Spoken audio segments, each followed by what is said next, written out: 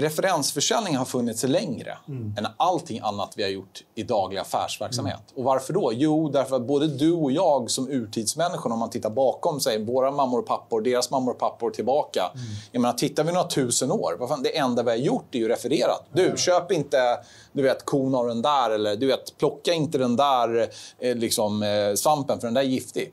Det här är sättet vi alltid har kommunicerat med i alla tider. Men på något sätt har vi kommit in i en affärsvärld där det handlar om många andra saker. Men vi glömmer liksom hur vi människor i grunden fungerar. Mm. Och det spelar ingen roll vad du ger dig in i vilken bransch som helst. Mm. Referensförsäljning är bättre än allting annat. Vi vet det. Men hur får man grepp om någonting som är så fluffigt? Mm. Det är det som liksom har varit någonstans ett game. Mm. Och sen har man liksom längs med vägen tänkt att så här, du vet, oh, jag ska göra och ta över världen och bla bla bla. bla, bla. Men sen när man släpper sitt eget ego i det där och så börjar man faktiskt lyssna på och och förstå det på riktigt. Mm. Då börjar man se att så här, mycket av det här är ganska enkelt egentligen. Mm.